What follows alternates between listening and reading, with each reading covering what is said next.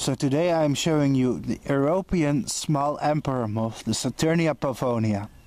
And what's interesting about these guys is the livestock came from my own country. That's unusual because I raise these kind of species from all over the world. But rarely something from my own country.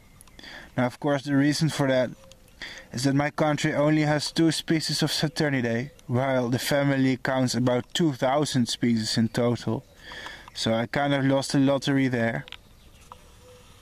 But yeah, it's still cool, it's still a nice fact. Um, I have a few of them here on Hawthorn.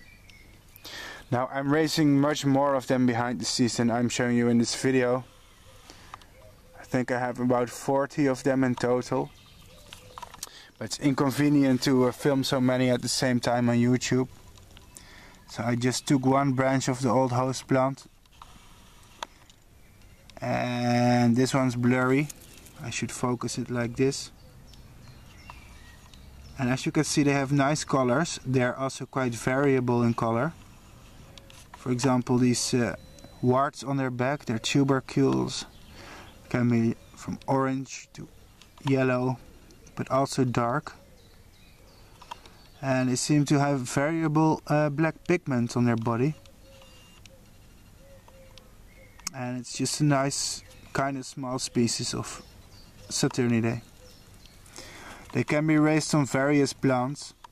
I think most people prefer to breed them on bramble, uh, which is rubus. The genus rubus if you know your plants.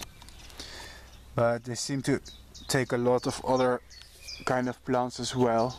Including willow and as you can see hawthorn. and these are not yet fully grown. Actually fully grown larvae still uh, quite a lot bigger. I think they have one more instar to go. As you can see when they're upset from their tubercules they will leak droplets of some sort of mysterious fluid This is a habit that other Saturniidae uh, have as well, if you if you know how to notice it. And I guess it contains a chemical which repels predators, mainly invertebrate predators. Thank you for watching and until next video.